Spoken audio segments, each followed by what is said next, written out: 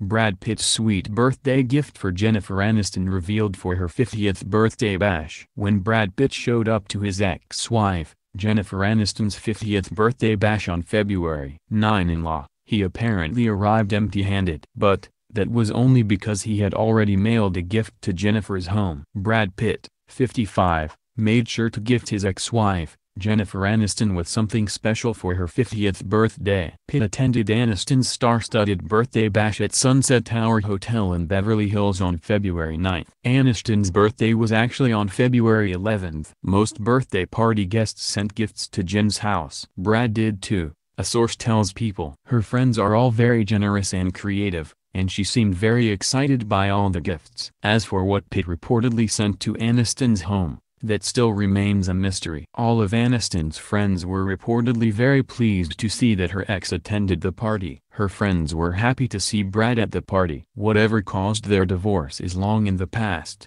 the insider says, adding that Pitt and Aniston, who were married from 2000 to 2005, have a very civil relationship. A separate source went on to defend the actor, adding, he was invited, so why shouldn't he go?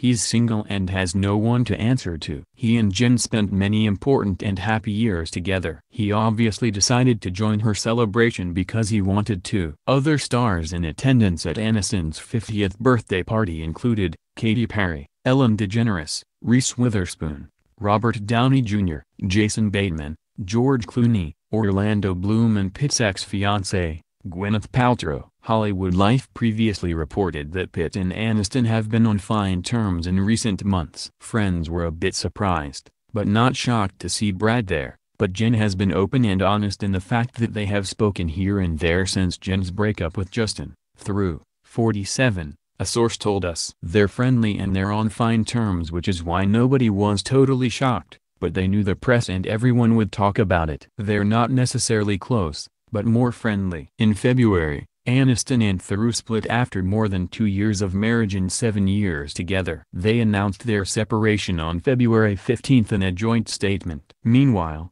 Pitt and his ex-wife, Angelina Jolie, 43 split in September 2016, when she filed for divorce. The divorce is still ongoing. The exes, who share six children together, are in the midst of a tumultuous custody battle.